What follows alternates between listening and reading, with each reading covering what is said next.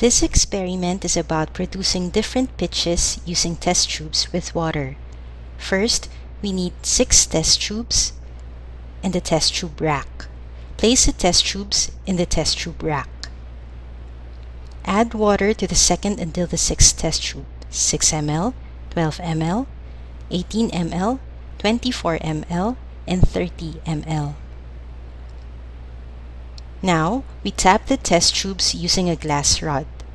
Listen to the sounds and see if you can hear any difference. Let us start with the test tube without water.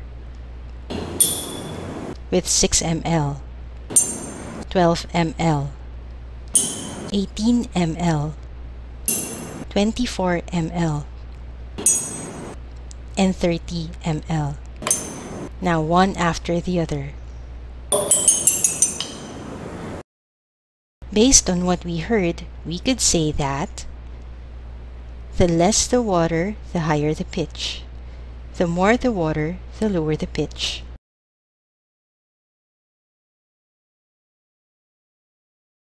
Next, we are going to blow into the test tubes to check for differences in sound. Start with the test tube without water.